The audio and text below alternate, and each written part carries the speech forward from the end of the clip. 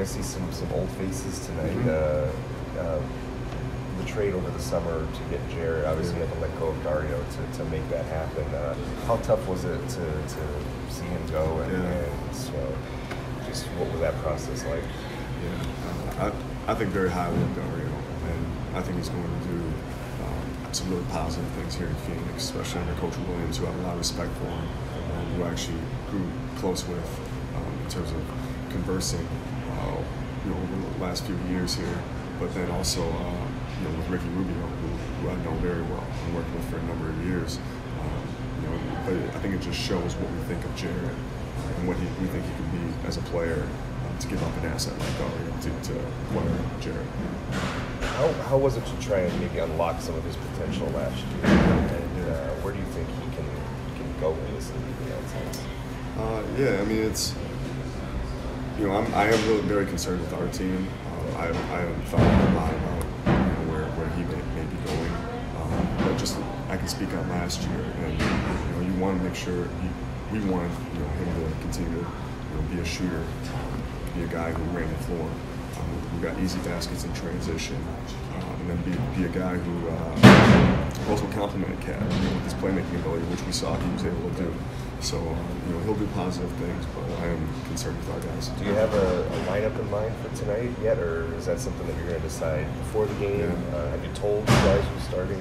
And how does that process work? have not have not told the guys who's starting, but but I, I do have a, a lineup in mind. Um, and I have a lot a lot of lineups that I'd like to see out there too. So there may be some that you know people may not expect uh, necessarily, uh, but you know we'll we'll see a bunch of different guys out there with different uh, players. Minutes limit for, for some of the guys tonight, or Yeah, I'll continue to talk to our, our performance group and see what the best um, course of action is in terms of you know especially after a shoot around uh, today. is that something that with, with the performance group and some of the guys you have sitting behind the bench this year, is that something that you kind of have to figure out in the preseason? How, It is. How this information is going to Yeah, get relayed to you and, and working and acting on it within a game. It is. It is. It's a good. It's a good uh, thing that you have to figure out because we have such brilliant people in this organization, um, and special people that, that we uh, were able to add this summer.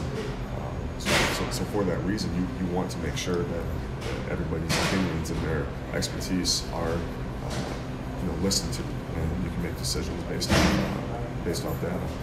What's your best uh, Ricky story? Uh, I got I got a lot of great Ricky stories, and you know, a lot based in based off of uh, you know just interactions and you know going to dinner, things like that. Uh, you know, I started working with him what was five years ago. Then you know, so something that Ricky and I bonded through was through grief. Um, myself losing my father, him losing his mother. So we still talk to each other about that, um, and it's uh, you know it's a very it's a personal relationship that you know I, I like to keep to myself. And he may say the same, but um, I I can't say enough good things about Ricky Rubio, the person he is, the player he is, and will continue to become, and uh, just what he will do in his life.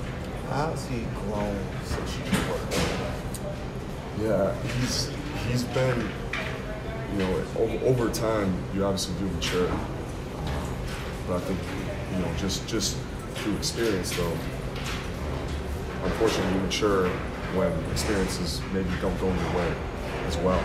I think Ricky is somebody who's so aware of his surroundings and so aware of, of you know what he can do better, and he's, he's somebody who who is a, a self-evaluator.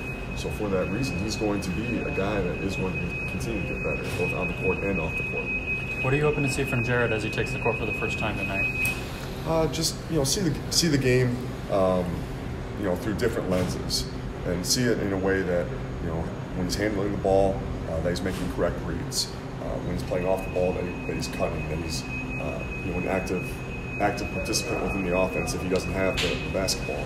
And then defensively, you want to see him uh, guard multiple, multiple positions. Uh, so it'll be, you know, we don't expect a lot from guys. A lot of guys are going to have to feel their way into things. But we just ask guys to continue to do what they've been doing through camp and not necessarily worry so much about, um, you know, what, what's going on throughout that game, you know, in, in the big scope of things, but more on, okay, how can I get better this play? How can I do the right thing this play um, within how we want to play offensively and defensively? How much do you want to rip that Yankees hat off of Karl's head? Yeah, no, I, was, I wasn't too happy with that. But, hey, it's uh, you know, the Yankees are uh, hey, they're they're they're a great organization. So, you know, I got you know hats off to them. But got a lot of love for Rocco and those guys. They, they did great things here with the Twins. So I'm, I'm, I'm happy that we're moving in the right direction. All right. Thanks, guys.